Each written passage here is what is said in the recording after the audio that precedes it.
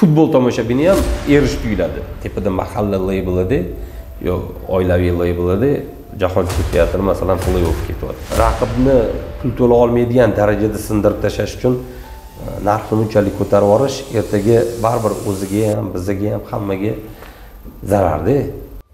Man eshitishim bo'yicha oldin o'n ming turgan narsa hozir yuz ming oldin o'ttiz ming turgan narsa hozir uch yuz ming bo'lib ketganda mayli balandparvoz gap gapirmayman o'zbekiston uchun degan qizil gap Vatan uchun. yo'q yo'q yo'q yaxshi saqlovchi qanaqa bo'ladi?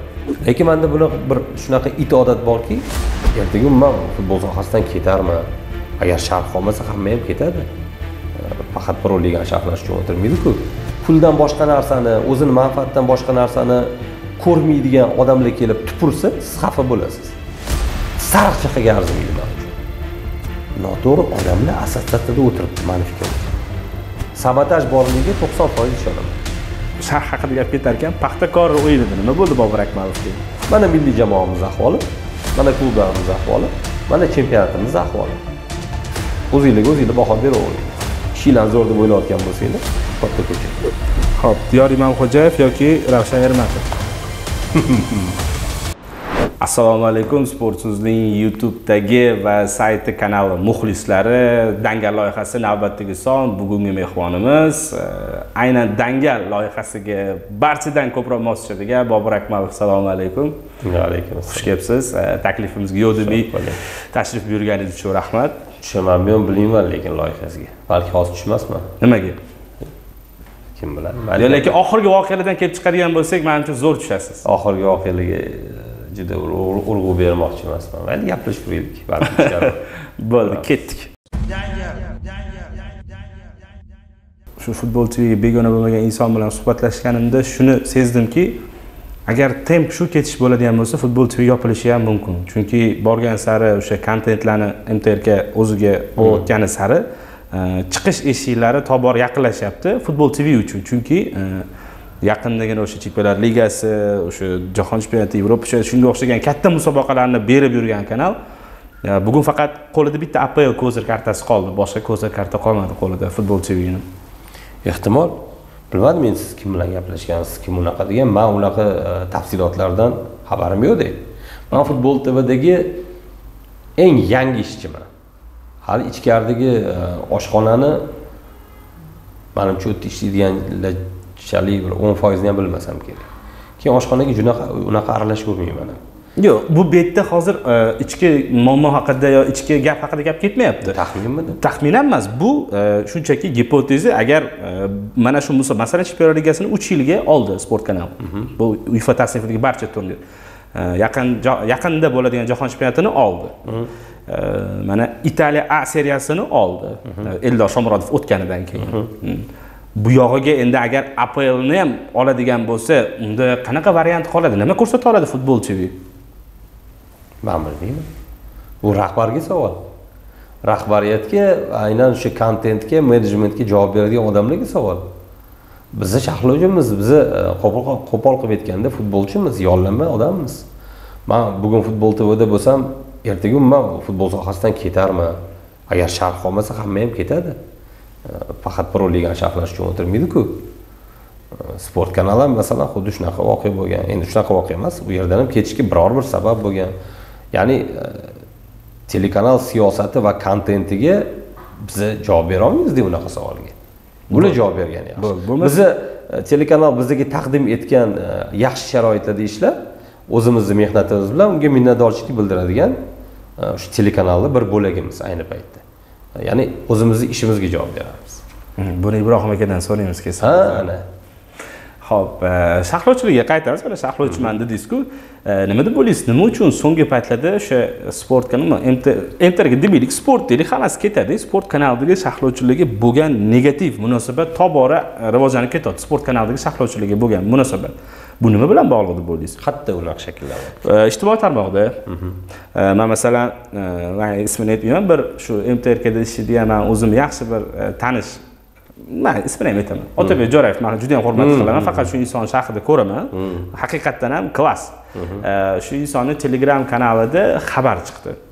Ta- tabriklaymiz e, sport uz sport kanali tabriklaylar shu mana shunaqa jahon chempionatini oldik dedi. Tagida bir yuzta komment bo'lgan bir man o'qidim bir oltmish yo oltmishtadan ko'prog'i? "Ey, sizlarni shahrida ko'ramiz. Men man hali yumshog'ini aytyapman.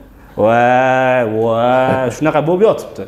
И man bu narsani e, twitterda ham ko'p ko'raman e, o'sha facebookda. Umuman hamma hammasida ko'p ko'raman. Nima uchundir shu narsa bo'ldi shu bu bo'ldi shu narsa. Sport kanali va shahlovchilari yomon bo'ldi bu обсуждение qilinmayapti bu muhokama ham qilinmayapti. Nima uchun yomon? Man bu narsani именно shu savolni berish uchun zohid aka bilan intervyu uyushtirgan edik. Biz chempionlar ligasidagi o'sha braklar ko'payib ketgan translyatsiyadagi o'sha shahlovchilarga negativ bo'lganda именно aynan shu narsa uchun biz suhbat qilgandik. Javob oladingizmi?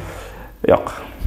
Man shahlovchi sifatida o'ylayverasizlar man rahbarman man shahlovchi emasman. Man endi shahlovchiga berolmayman bu savolni. Man o'tda ishlamayman-ku to'g'ri lekin shahlovchini insonlar yaxshi qabul qilishi nimaga bog'liq bundan boshlaymiz mana bundan boshlaymiz. Man shahlovchilik sohasida agar bitta ikkita yosh yigitlarni aytmasa eng yangiman yangiman shahlovchilik sohasida. Sizchi shahlovchilikda yangi bo'lganingiz bilan o'zbek futbolida o'sha ancha munchasidan oldin kelgansiz? Biz sizni radiodan taniganmiz undan oldin ham. shahlovchilik emasku. Ну baribir ham siz tanish edingiz aynan sharh masalasida mana qarang man aytaman sizga murod aka eldor aka murod irzayev eldor mustafoyev sport kanalidan yana kim dilshod aka dilshod to'xtabekov sanjar mahmudxonov otabek jo'rayev yana kim esimdan chiqdi bo'ldi deylik birga ishlaganman akalarim ukalarim hamkasblarim yaxshi munosabatdamiz hammamiz hammasi bilan dilshod e, sanab o'tganlarim hammasi bilan yaxshi munosabatdamiz lekin manda buni bir shunaqa it odat borki yaxshi munosabatda bo'lsam ham tanqid qilib qo'yaman o'tda o'tda keyin u e, nima deydi munosabatimiz va haligi narsani boshqa boshqa deb o'ylaymanda bundan ko'pman deyman E, xafa bo'lishadi boshqa. Ammo ammo muxlislar o'zi ko'rayotgan kontentni siz aytgan kommentariylarni sharhlada o'zligi berishibdi. Hozir man qanaqa qilib murod akani mana bunaqa kamchiligi bor eldor aka haqiqatdan yaxshi sharhlamaydi yoki deylik sanjar unaqa dilshod bunaqa deyishim noto'g'rida bo'pti man savolni boshqacharoq qo'yaman. Ha. demak noto'g'ri qo'yibman chunki man o'zim ham juda ko'p noto'g'ri xatolarga yo'l qo'yaman. O'zim ham ko'p so'kish eshitaman misol uchun. Man kommentariy o'qimay qo'yganman o'qimayman hech qachon Э, man twitterda faolman bo'ldi twitterda faqat. Haligi e, kommentariy telegramni kommentariylar instagram instagram вообще ishlatmayman facebook umuman kirmayman. Ya'ni e, boshqalarga ham ko'pincha tavsiya beraman. O'qinglar sizlarga berilayotgan fikrni o'qinglar. Keragini misol uchun e, deylik chni to'r bilan yozadigan va faqat so'kish yozadigan odamni man masalan umuman u fikr qiziq emas chunki u normal fikr berolmaydi so'kishdan boshqa narsani bilmaydi. O'zi ko'rinib turibdi. Monitorni oyog'ida qanaqa saviyali odam o'tirgani. Futbol tvga o'tishingiz qanaqa bo'ldi? Futbol tvga shu orada katta pauzadan keyin endi u qanaqa pauzaligi hamma biladiku. Sport kanalidan qanaqa ketganimizni ham hamma biladi. Hmm. mtrk rahbarini bizaga yozgan xatini hamma biladi murojaatini. Endi u hamma bilgan narsani tafsilotlari shart emas. Endi tabiiyki unaqa негласный deydiyu ro'yxatga tushib qolgan odam uncha muncha joyga borib ishlashi qiyin qora qora ro'yxat. Ha qora ro'yxat deylik. Mtrkni qora ro'yxati yoki e, televideniyada ko'rsatuvlarni e, televideniya kanallarini yoki ommaviy axborot vositalarini deylik. O'zi hech qayerda yo'q unaqa ro'yxati. Просто endi mtrkdan bunaqa shov shuv bilan ketgan odamni boshqa xususiy joylar ham o'ziga olishga biroz o'ylab ko'radiyu. Cho'chiydi. Cho'chiydi. Aslida hech narsa yo'q. Hammani o'zini senzurasi bor o'zida samotsenzura shuning uchun bilmadim qanaqa bo'ldi. Shu oradan vaqt o'tgandan keyin xayrli akam yod ishlaydilar Э, ibrohim ora orada bir bir gaplashib turganimizda "Ya, bizaga o'ting o'ting mayli chaqirsanglar o'taman deb qo'ygan edim keyin bir kun shunaqa chaqirishdi. Bordim e'lon qilishdi. E'lon qilganda ham zo'r e'lon qilishdi transfer qilib. Ha endi u hamma shahlovchilar shunaqa qilishadi. Xayrli akamni ham do'ronni ham shunaqa transfer deb e'lon qilishganda adashmasam man aniq bilmayman. Endi mana shunaqa deb e'lon qilishdi lekin ja bunaqa katta e'tibor boshqa kim bilsin man ja unaqa katta e'tiborga xayrlagam yo'q deylik dvoronchalik arzimasam ham shunaqa e'lon qilishdi. O'sha paytda endi futbol tvni shu tomondan siyosati yangiliklari sotayotgan translyatsiyalari va sharhlovchi xullas shunaqa bo'lib ketdi. Mana futbol tv haqida gap ketdiyu. Mana xabaringiz bor yaqinda jahon chempionati translyatsiyasini ham mtrk oldi sport kanali oldi bu translyatsiyani. Bu qaysidir ma'noda endi futbol tvni tobora burchakka siqib borayotgandek taassurot uyg'otyapti mtrk masalan avvalgi chempionlar ligasi yevropa ligasi konferensiya o'shani barcha uefa tasnifidagi musobaqalar italiya a seriyasi italiya a seriyasi savol shundan iborat bora bora bundesliga yoki fransiya ligasiga o'tib qolmaydimi futbol tv bu borishda? Nima deb o'ylaysiz? Bu sog'lom bo'lmagan raqobatdagi mag'lubiyat nimani ta'minlaydi bu sharhlovchilar haqida emas bu umuman kanallar haqida sog'lom bo'lmagan nimaga sog'lom? Chunki man zohid aka karimov bilan ham suhbat qilgandik bu haqida o'shanda aytgandilarki va boyagi yana gap bizni vazifamiz daromad qilish emas shuning uchun men qarshiman solishtirishga. Yo qanaqasiga siz qarshi raqobatchi deyish deyilishiga qarshiligim bu sal noto'g'ri. U raqobatchi emas bizda admin resurs bor u biznes proyekt biz davlat telekanali ular biz bilan raqobat qila olmaydi. Biz bilan raqobat qila olmaydi ular. Biz davlat kanalimiz. Biz xohlaganimizni ola olamiz. Bizni kuchimiz yetadi ularniki yetmaydi degan. Lekin raqobat bor sog'lom bo'lmasa ham bundan futbol tv nima yutqazadi futbol tv yutqazganidan tomoshabinlar nima yutqazadi savol shundan iborat.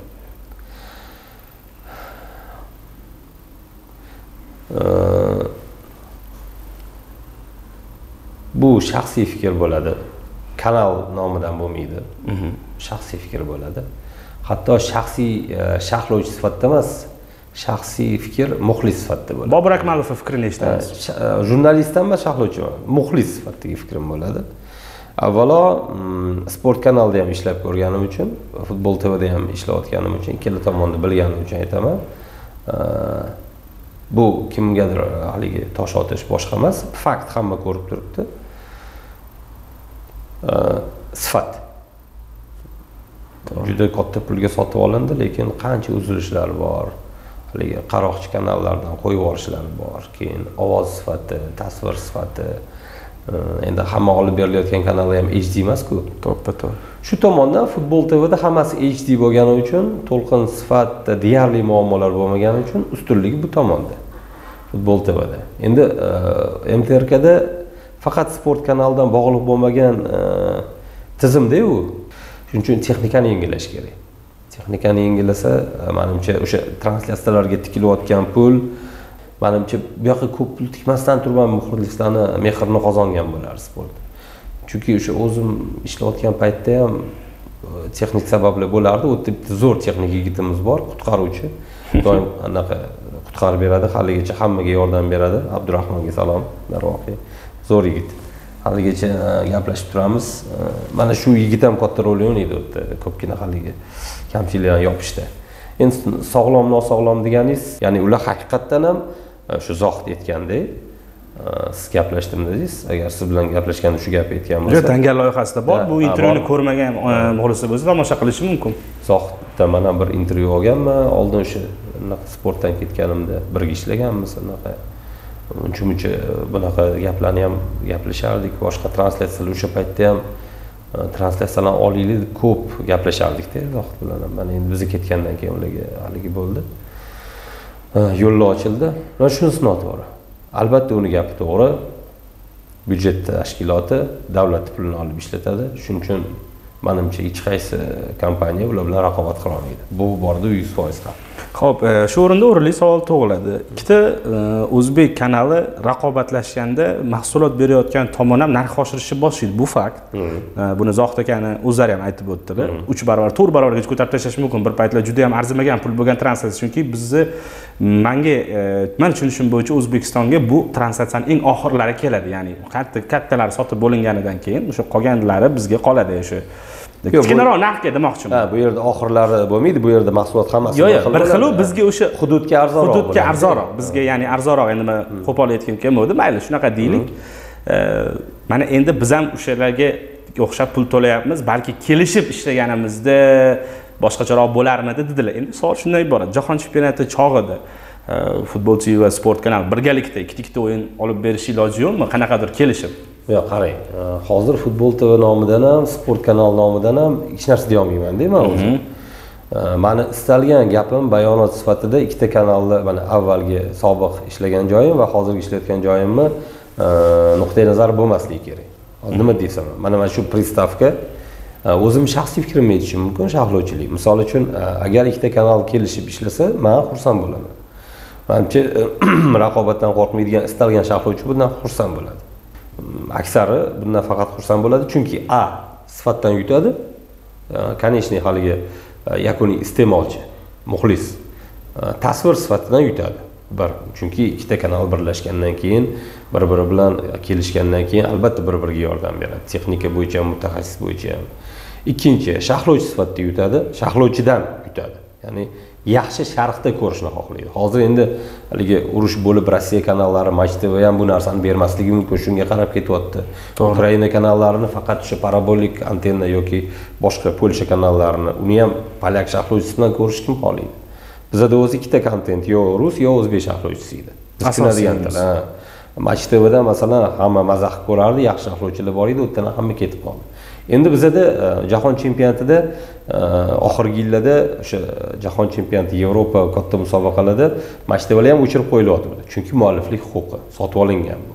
Hamma shu yerdan ko'rsin e, bu safar ham shunaqa bo'ladi katta ehtimol. Sport kanali ham o'sha rus kanallarini retranslyatsiya qiladigan tashkilotlarga o'chirtirib qo'yadi uni. Retranslyatorlarga o'chirib qo'yadi ya'ni to'liq o'zini tomosha qilish uchun. o'zbek e, kanali orqali kontent orqali tomosha qilasiz. Endi agar futbol tv bilan sport birlashsa e, birinchidan sport sport hd sport 2 internet kanali ham bor plyus ikkita toza futbol kanali futbol beradigan kanal qo'shiladi uzreport va futbol tv ya'ni toza futbol beradi deganim e, tasviri texnikasi zo'r beshta bo'ldimi ya'ni hojat qolmaydi mahalla bolalar bolajon yoki madaniyat ma'rifat. Madaniyat ma'rifat yana oilaviy. Shunaqa kanallar orqali hdsi hd tasviri yo'q kanallar orqali o'yinlarni xira uzatish e, hojat qolmaydi. qolmaydi. Birinchidan ikkinchidan u kanallarni ham e, man endi bilaman u kanallarni ham o'zini kontenti bor. Shartta o'zib turib futbol qo'yib yuborsangiz u kanalni tomoshabini ham hayron bo'ladi.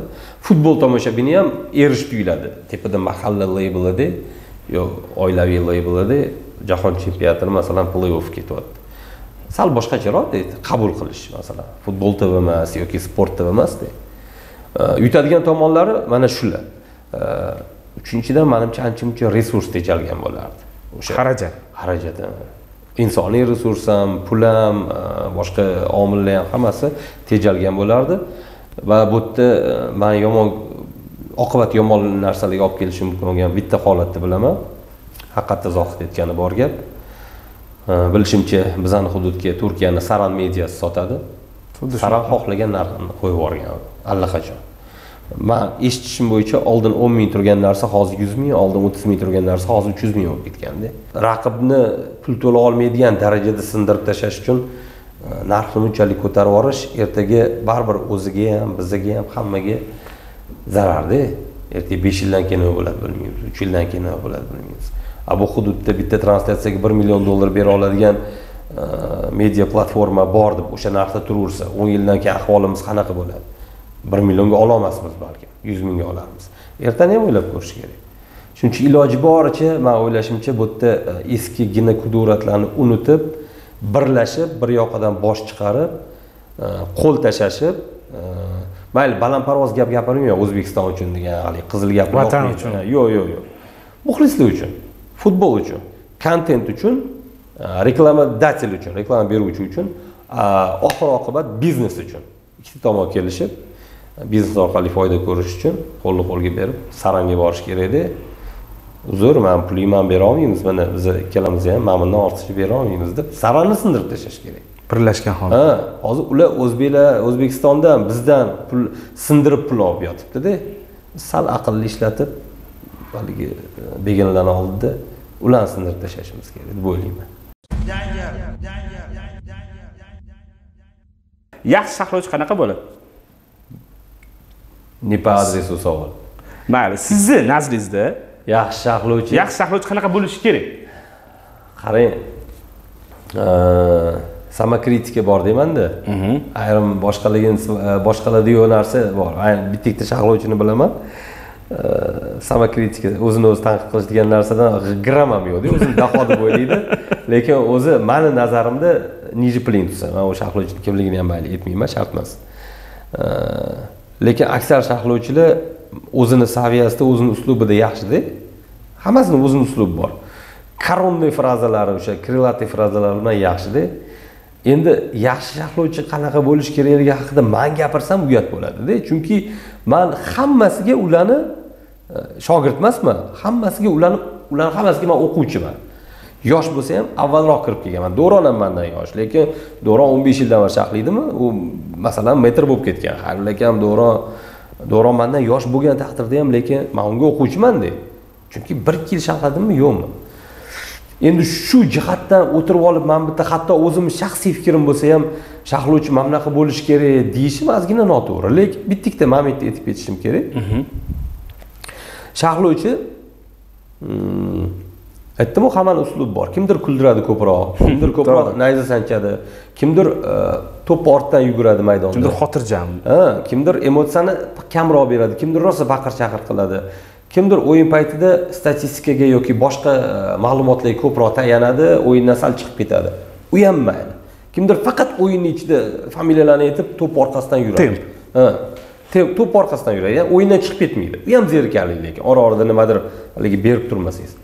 Bular uslubda hammasi.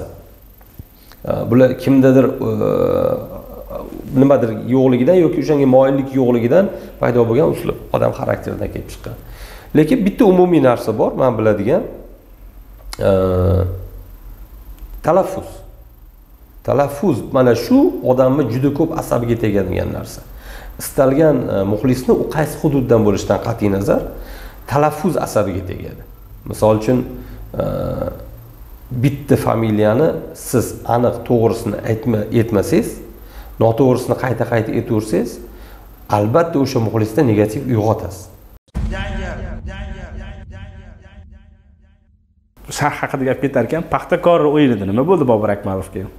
Bo'lmadi hoy baraka topkurlar burchak zarbasidan havolatib to'p uzatyapsizlar. Qanotlardan uzatyapsizlar. Biror foyda ko'rdingizmi? Eronning baland bo'yli futbolchilari to'pni osonlikcha qaytarishyapti. To'pni ko'tara olmayapsizlar ham. Ko'targaningizda osmonu falakka ketyapti. Biror boshqa narsa o'ylab topsa bo'ladimi yoki o'rningizga biz o'ylab topaylikmi? Sharhlovchilar xonasida futbol o'ynab bo'lmaydi yo sizni bilamiz. Manga qiziqqansiz manga hech narsa bo'lmadi paxtakor o'yinida man bitta narsa aytib ketaman qis- qisqa narsada. Keling mana qiling nima shunchalik jahlingizni chiqardi? Paxtakor o'yinidagi nima sizni shunchalik jahlingizni chiqarib yubordi sharhda siz e, deylik ko'chib ketsangiz boshqa mamlakatga. Butunlayga misol uchun.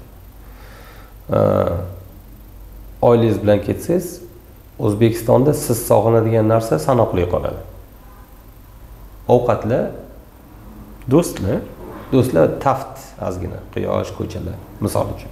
Lekin bularni hammasini yengsa bo'ladi.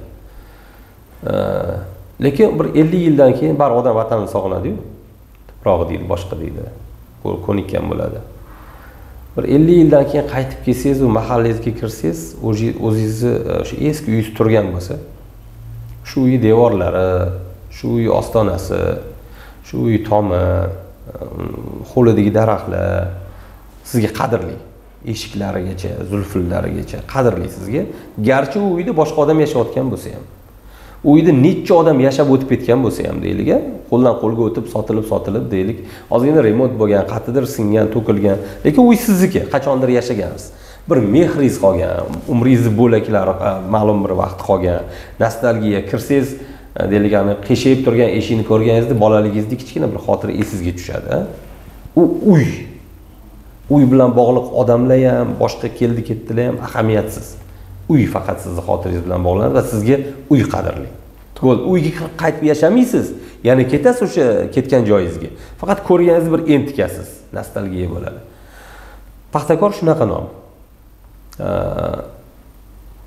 Sakson to'qqizinchi yilda adam mani stadionga olib tushganlar paxtakor pomir o'yiniga. Esimni tanib tanimagan paytimda ikki ikki bo'lgan o'yin shkverinni gol urgani o'yin oxirida e, paxtakor ikki marta hisobda orqada bo'lib turib ikki ikki qilib olgani qirq besh qirq ming tomoshabin stadion to'la e, ikkinchi gol urganimizdan keyin hamma baqir chaqir qilgani man ham bola bo'lib turganman turmagan bilmayman. E, hamma odamga hamma futbol muxlisiga muxlislik qaysidir bir soniyada yuqadi. Manga o'sha yerda yuqqan paxtakorga muxlislik futbolga muxlislik. Sizga masalan realni super o'yindan yuqqandir. Masalan kimgadir barsani super o'yinidan sevib qolgan kimdir messi tufayli sevib qolgan futbolni kimdir ronaldu tufayli sevib qolgan futbolni kimdir maradona tufayli xullas bitta sabab bo'ladi. Endi o'sha sakson to'qqizinchi yildan beri hozir oradan mana o'n bir yigirma ikki o'ttiz uch yil o'tdi. O'ttiz uch yil man bu nomni hurmat qilaman. O'ttiz uch yilda qancha odamlar kelib ketdi bu klubda ishlashga?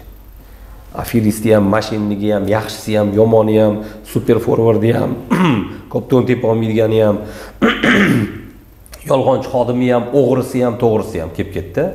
Bir tiyin ham emas nom bor.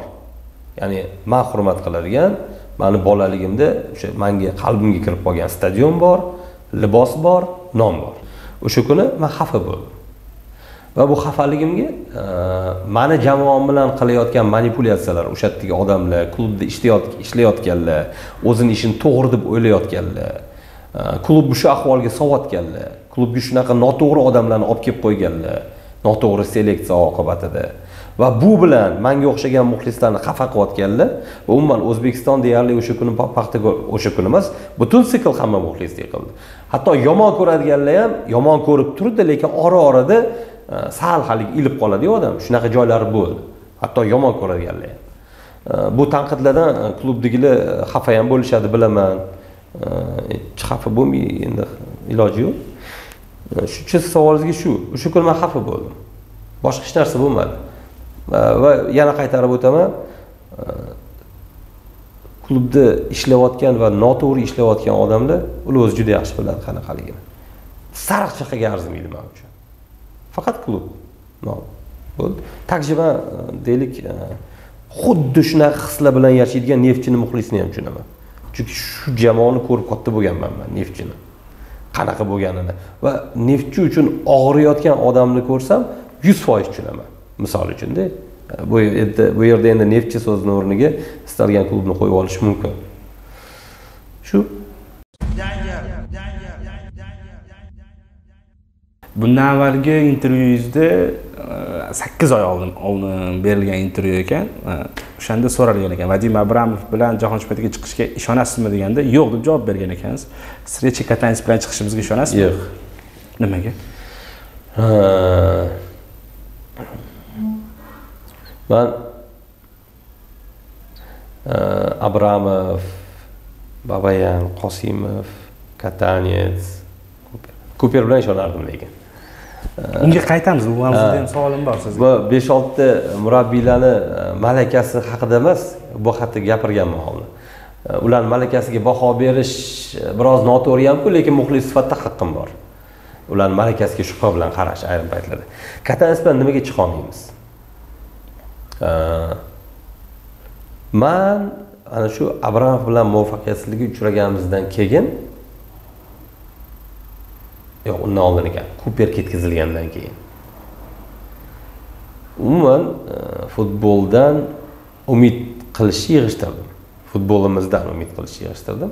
Nimaga? Mayli man aytsam. Chunki e, manda ham shu fikr bor. Man ham shu fikrda bir necha marta o'zimizni sport so'zligi podkastida ham aytganman bu narsani. E, falastin bilan o'yinda sabotaj bo'lgan. Man shunaqa deb hisoblayman va e'tibor berdim bitta podkastda siz ham aynan shu gapni aytgan ekansiz. Bitta podkastda emas man o'sha falastin bilan o'yindan keyinoq bu haqida hamma joyda gapirib kelaman. Hamma joyda. Qayerda intervyu bergan bo'lsam kim bilan o'zaro suhbatlashgan bo'lsam aynan shu mavzuda. Sabotaj borligiga to'qson foiz ishonaman bu fikrimdan qaytmayman. Agar kimdir qaytarar manga umuman qarshi faktlar dalillarni keltirib tashlasa qaytarar balkim. Lekin ya'ni e, o'sha kuzatuvchilarimizga eslatib o'tamiz e, falastinda bo'lgan o'yin o'zbekiston terma jamoasi ikki nol hisobida mag'lubiyatga Mag'lub uchragan va o'sha mag'lubiyatdan so'ng viktor kuper o'z postini tark etishga majbur bo'lgan edi. O'zi xohlamasa ham. Bir sabab bo'lgan sabab qilishgan shuni. Nima uchun umid qilmay qo'y- qo'ydim? Futbolimizda. Birinchidan bu asablarga yaxshi asabga yaxshi. Tinchroq yashaysiz kamroq qiynalasiz. Ikkinchidan umid qiladigan joyi ham qolmadi. Biz uchinchi savatchadagi jamoaga aylandik. Uchinchi eshelondagi jamoaga aylandik. Endi biz e, nafaqat e, yaponiya janubiy koreya balki qatar iordaniya kuvayt kabilar bilan o'ylashib o'ynaydigan jamoaga aylandik. Garchi tarkibimizda e, paradoksal holat yulduzlarimiz bo'lsa ham. Uchinchi savatcha degani bu mana saralashda nasib bo'lsa shri lanka myanma qirg'iziston bular orasida zo'rmiz lekin shu ketish bo'lsa hali bu ham bo'lib qoladida haligi shri lanka darajasiga borib qolamiz singapur malayziya darajasiga. Ha darvoqe singapur singapur malayziya va ayniqsa vyetnam hozir bizlar bilan qo'rqmaydi o'ynashga. Bemalol yutqazishi mumkin lekin qo'rqmaydi. Bunisi bor. Ya- ya'ni o'sha biz shunaqa degradatsiyaga uchradikki bu degradatsiya bilan nimadir umid qilish bu ahmoqlik futbolimizni ahvolini ko'rib turibmanku. Ya'ni futbolimiz futbolimizni ahvoli deganda maydonni o'zidagi e, to'pni bir biriga oshirib borib gol uradigan o'yinni aytmayapman paradoksal holatda aytdimku. E, paradoksal holatda aytdimku. Ya'ni e, yulduzlarimiz bor jalol bilan eldor bor. Ulardan tashqari ham o'zi qancha legioner futbolchilarimiz bor? Tarkibimizga qarasangiz bu jahon chempionatida o'ynaydigan tarkibda misol uchun o'zi erondan qolishmasligimiz kerak. Xudo xohlab qolasa saudiyani yutishimiz kerak o'zi aslida saudiyadan ham ha bulardan hammasidan o'tishimiz kerak. Jahon chempionatida tarkibimizni o'ziga agar tayyorlagan bo'lsak o'ynashimiz kerak. Mayli endi himoya boshqa mavzu. Lekin maydondan tashqaridagi ishlar ham juda ko'p noto'g'rida noto'g'ri odamlar assotsiatsiyada o'tiribdi mani fikrimcha. U ular noto'g'ri odamlar ekanligini futbolimiz berayotgan mevani o'zi ko'rsatib turibdi. Man baho berishim shart emas. Yo kim bilandir bu odamlar e, shuga loyiq yoki loyiq emas deb e, o'zi shart emas bu absurd. Chunki natija nalitso deydiyu. Futbolimiz ko'rsatayotgan natija futbol tepasida o'tirgan odamlarni o'sha yerdagi xodimlar e, funksionerlarni qilayotgan ishiniga baho bu. O'zi ko'rsatib turibdi. Bu haqda hech kim bilan tortishmoqchi emasman. Mana milliy jamoamiz ahvoli mana klublarimiz ahvoli mana chempionatimiz ahvoli o'zinglarga o'zinglar baho beraveringlar. Ishinglarni zo'r deb o'ylayotgan bo'lsanglar katta ko'cha. Bemalol zo'r deb o'ylayveringlar. Shuning uchun nima keragi bor umid qilish? Tepadan hammasi noto'g'ri bo'lsa va yakuniy yara milliy jamoamiz kelganda o'sha yiring haligi yara portlasa o'sha yakuniy natija milliy jamoamizni o'yinlari bo'lsa muxlislar bundan qiynalsa. Ya'ni ofada bo'layotgan ishlar futbolimiz korchalonlari qilayotgan ishlarni muxlis ko'rmaydi. Muxlis yakuniy natijani ko'radi. Biz muxlisga shunga qarab baho beradi. Ovqatni pishirib oldiga olib keldik. Oshni yemagan o'xshamagan osh. Muxlis shu oshdan xafa. Mana sizlarga baho qilayotgan ishinglarga. Milliy jamoa milliy jamoalarimiz turli yoshdagi jamoalarimiz umuman turnirlarda ko'rsatayotgan e, o'yinlarimiz va darajamiz. Yana nima kerak? Kim bilan nimani tortishaman? Kim manga o'zini yo to'g'ri ishlayapsiz to'g'ri ishlayapmiz san ko'ra olmaysan san mana bunaqa gap bilan gapiraverasan san o'zi tanqidchisan teging u bu.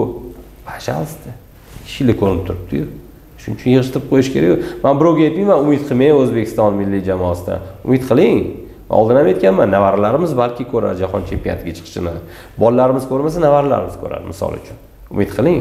Lekin hozirgi e, degradatsiya holatida man tavsiya qilmagan bo'lardim kimgadir. Agar o'ylab qaraydigan bo'lsak yakunda o'sha uch ochko bizni boshimizni yedida final bosqichiga olib chiqa olmadi aynan shu ochko shunaqa bo'lib chiqyaptida endi zohirini qarasak shunaqa. E, abramov chetlatilganda ham eronga nol birga yutqazganmizda toshkentda. Aslida zo'r o'yin bo'lgan. Qosimovga ham misol uchun bitta gol yetmay qolgan o'sha paytda. E, o'sha e, keyingi abramov haligi. Endi unaqa e, haligi misollar ko'p. Lekin eng oxirgisi shu bo'lib turibdi hozir. Zohiran shunaqa. Mana o'sha falastindagi mag'lubiyat oyog'imizdan chalgan bo'lib chiqyapti. Lekin falastindagi mag'lubiyatdan keyin toshkentda saudiyadan mag'lubiyat ham bo'ldida. Keyin saudiyada saudiyadan mag'lubiyat ham bo'ldida. Ya'ni bitta o'sha sabab emas. Ha o'sha bizani yo'limizni qayerqadir burib yuborgandir chalib yuborgandir ehtimol o'shani ham sabab qilib ko'rsatish mumkindir. Lekin haligi zohir dedimku ha, yana qaytamiz buni botiniga buni tagida nima bo'layotganiga. Futbolimizda kichkina tabib ko'rgansiz film. Yo'q kichkina tabib emas. Yaratganga shukurman yo'q yo'q haligi. Abdullajon nega mani ketmoqlim uchmayapti desa arni o'ldirib qo'ygansiz deydiyu. Mana shu o'zi fikrlaydigan odamga javob. Bilmayman qancha ar o'ldirib tashlaganmiz. Qancha ar o'ldirib tashlashgan. Shuning uchun hammasichi bitta savol beray o'sha Ha. arini o'ldirganlar hali ham o'sha yerdami joyidami? Bilmayman u arni o'ldirganlar doim bo'lgan ar o'ldiradiganlar manimcha. Har doim bo'lgan bundan keyin ham bo'ladi. Aytmoqchimanki e, sizni ko'chada deylik e, qoqilib yiqilsangiz yo oyog'ingizni urib oldingiz biror joyga ko'karda stolga oyog'ingizni urib oldingizda mana shu stolni obyekt sifatida ko'rasiz. Oyog'ingizni urib olgan siz oyog'ingizni ko'kartirgan obyekt. Nimaga? U chunki qattiq to'qnashib ketdingiz oyog'ingiz urildi mana. Lekin o'ylab qarasangiz bu qaysidir gunohingizga kafforatda siz urib oldingizda oyog'ingizni? Bitta gunohingizni yaratgan sizdan yechib oldi mana ketdi. Bu urib olganingizni sababi deylik besh yil oldingi qaysidir qilgan ishingizdir yoki uch kun oldingi qaysidir qilgan ishingizdir umuman boshqa ishdir u. kimnidir dilini og'ritgandirsiz yoki e, bir kichik gunoh ish qilib qo'ygandirsiz. Shunga urib oldingiz kaforat bo'lib ketdi deylik yo zirabchi kirib ketdi. Bu ham shunaqa narsada kuperni sababchi qilib ko'rsatib qo'yilgan holatda bu. O'sha mag'lubiyat bizaga aysberg uchi biza ko'rishimiz kerak bo'lgan sabab. Sababi tegi unga olib kelgan narsalar alohida juda katta narsalar. Biz bu tomonni o'ylashimiz kerak ko'proq. Nima uchun? Bu voqea biz bilan sodir bo'ldi. Biz shuni o'ylamaymiz. Sizni nazdingizda nima uchun sodir bo'ldi biz bilan. Nohaqlik. Harom qarish noto'g'ri ishlar. Hammasi hammasi yuzaga qalqib chiqadi shunaqa natijalarda. Mana shuning uchun biz hozir shu o'rindamiz. Va bu o'rinda ham omonatdamiz. Ha? Futbolda emas butun jamiyatda hamma sohada shunaqa. Futbol jamiyatdan ayro yasholmaydi Ha, bugungi o'zbek futbolidagi eng asosiy uchta muammo nima deb hisoblaysiz? Uchta muammo? Voy shuncha muammolarni gapirdik. Eng asosiy uchtasini e, sizni nazdingizda bugungi o'zbek futbolidagi asosiy uch muammo.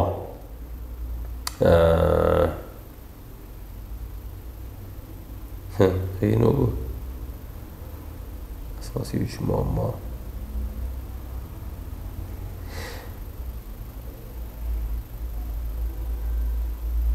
bittasini aytaman ho'p yolg'on.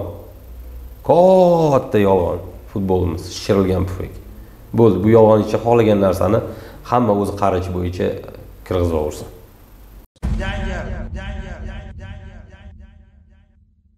Mish mish aralash savol beraman. Shu bilan keyin blitzga o'tamiz. Ho'p jahon mish chempionati mish aralash ha shunaqa savol. Ho'p E, shu kunlarda sizga sport kanalida ishlash ya'ni sharhlovchilikni tiklash borasida hech taklif bo'ldimi jahon chempionati chog'ida jamoaga yordam berish? Yo'q bo'lmasa ham kerak. Va uni davomi bor savolni agar taklif bo'lsa qabul qilarmidingiz yo'qmi? Bu savolni ochiq qoldiraman mayli ho'p bo'ldi blitzga o'tamiz. Blitz e, man ikkita variant aytaman siz bittasini tanlaysiz. Uchinchisi yoki ikkalasi ham emas degan variant o'tmaydi kelishdikmi sizlar ramkaga olib kirib olasiz yo'q yo'q yo'q bu majburiyat emas lekin. Bu majburiyat emas iltimos. Ho'p Ketdi, tayyormisiz? qo'ldan kelgancha ho'p eng yomon ko'rganim blitz o'zi. Chunki man o'zim ham qiziq blitz bilan intervyu olganimda qiynaymanda mehmonlarni. Ularni holatini ko'raman. O'zimni ham qo'yib ko'raman qiyin. Blitz qiyin. Mayli sizni bugun e, blitz bilan man qiynashga harakat qilib ko'raman. Ho'p ketdi. Qaysi jamoa muxlislari e, yorqinroq navbahor yoki nasaf navbahor manchester siti yoki liverpul liverpul real yoki barsa? Ochiq qoldiraman buni. Vadim abramov yoki mirjalol qosimov? Hmm.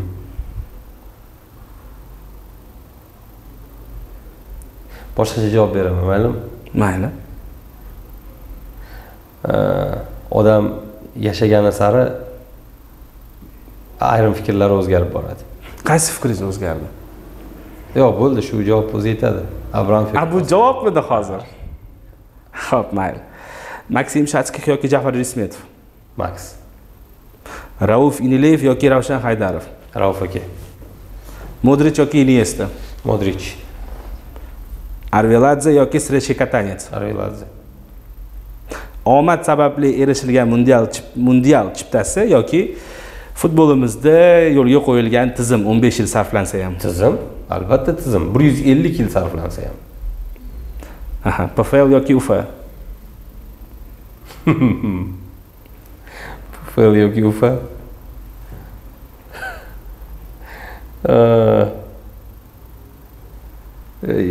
pfl yoki ufa yo pfl yoki ufa emas. Bunga hozir hozir o'ylab oling yo'q ekan bunaqa tashkilot uefa. Ho'p diyor imomxo'jayev yoki ravshan ermatov? Qaysi biri futbolimizda kattaroq voqea ha yasadi shunaqa savol beringda ya'ni ularni qaysi kriteriy bo'yicha o'lchovimiz hozir o'sha o'lchovingizga yordam bering diyor imomxo'jayev yoki ravshan ermatov? Qaysi biri? Futbolimizda ko'proq narsani o'zgartira oldi diyor. So'nggilardan so'nggisi qaysi sharhlovchi kuchliroq davron fazliyev yoki xayrullo hamidov? Uchinchi variant yo'q bunisida lekin. Hmm. ikkalasi ham zo'r. Bittasi. Yo'q. Bittasi bu tomondan bittasi bu tomondan zo'r. Ya'ni e, mana. Xayrli mayli man savolni boshqacha qo'yay. Ha agar ikkala sharhlovchi ham taqdir taqozosi bilan bitta o'yinni ikkita kanalda sharhlayotgan bo'lsa kimni sharhida ko'rasiz o'yinni? Unisiga bunisiga o'tkazib ko'ra olmasangiz kerak manimcha ekranni ikkita qilib olaman yo ikkalasinichi e, ustun tomonlari har xil narsadada To'g'ri. solishtirish qiyinda bunaqa solishtirilmaydi. Misol uchun davronni uslubini yaxshi ko'radiganlar shubhasiz davron deydi. Harlakan uslubini yaxshi ko'radiganlar harlakanni boshqasiga ko'nmaydi To'g'ri. man ikkalasini ham uslubida yaxshi ko'radigan jihatlarim borda. Va siz qaysi kanalda ko'rgan bo'lardingiz? Kim sharhlayotgan kanalda o'yinni? Ekranni ikkita qilib. Unisidan bunisidan bo'ldi ho'p futbol tv studiyasidagi suhbat yoki futbol plus? Futbol plyus ho'p so'nggisi kuch nimada adolatda temur to'g'ri aytgan barchasi uchun rahmat bobur aka. E, hammasini adolat yuzasidan ochiq oydin suhbatlashganingiz uchun hamma hammasi uchun umuman olganda rahmat va so'nggi so'z o'rnida sport so'z kuzatuvchilariga fikr va tilaklaringiz bo'lsa marhamat Ha, bitta narsa qo'shimcha qilib qo'yay keyin montajga qo'shib bo'ladi.